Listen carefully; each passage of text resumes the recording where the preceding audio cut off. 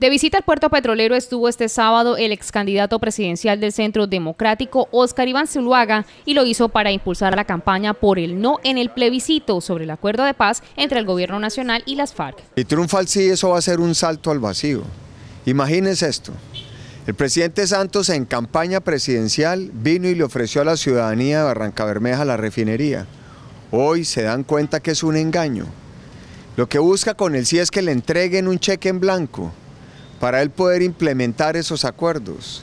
Una persona que ha engañado a la ciudadanía no merece esa confianza. Si se vota el sí, esos acuerdos son inmodificables. Son 297 páginas.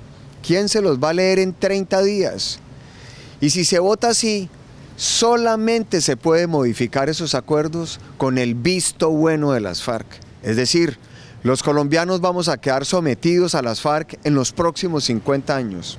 Votando no es la oportunidad para mejorar, para corregir esos acuerdos y tener una paz negociada pero basada en unos mínimos de justicia. Considera Zuluaga que dicho acuerdo es una constitución política hecha a la medida de las FARC. La mayoría creciente alrededor del no, pero también veo una ciudadanía atemorizada. Santos los ha extorsionado. Ustedes recuerdan que hace dos meses desde Medellín dijo que si ganaba el no, volvería a los ataques terroristas de las FARC a las ciudades. Un presidente que extorsiona, un presidente que amenaza, es un presidente que tiene temor, que no tiene esa capacidad para garantizarle a los ciudadanos la defensa de los derechos consagrados en la Constitución.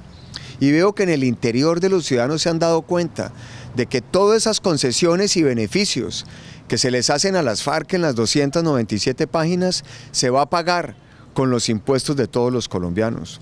El plebiscito se va a votar el 2 de octubre y al día siguiente el gobierno va a llevar la reforma tributaria al Congreso, aumentarle el IVA en la canasta básica, en los útiles escolares a todos los hogares colombianos. Con esos recursos pagarle las concesiones a las FARC y no le exige un solo dólar del narcotráfico a las FARC.